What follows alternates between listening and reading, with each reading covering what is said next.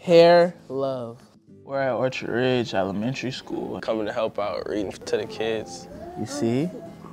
Yeah. My name is Rocky Willis Pettis. My name is Makai Ward. I go to Memorial, class of 2024. What on earth? He asked. I decided to come because a lot of the people here need a black role model. A lot of kids need a black role model. And at my age, I would want somebody like me to come here and help. Because I was once a kid and I know how it feels. Like sometimes I was felt lonely kind of in a way.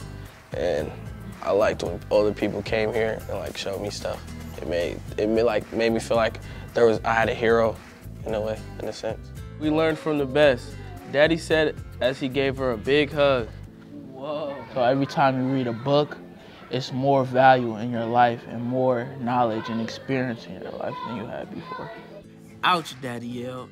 It gives them a better imagination and aside from sports, I feel like if you know all these things, like the foundation of academics, like people can take away all your physical talents and all that, but I, I don't think anyone can take anything from your mind. You can always, you'll always have that. Do you guys like superheroes?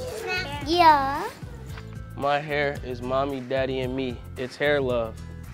Yay. Thank you. Some of the kids, they don't have that in their lives.